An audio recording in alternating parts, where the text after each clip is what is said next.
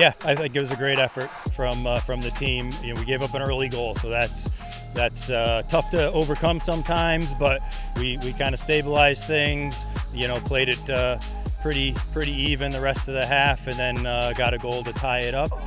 Shot in by Rogers, score! It was a great play. We've done that drill like basically 10 million times in practice. Drive to the end line, played a cross finish, and I just saw the opportunity. Iona played a great ball and just find the back of the net. We knew coming in every MAAC game is going to be a tough game, and I think we really held our own. And we showed that we're a competitive team in this conference, and we, we answered the call. I'm really proud of everybody today.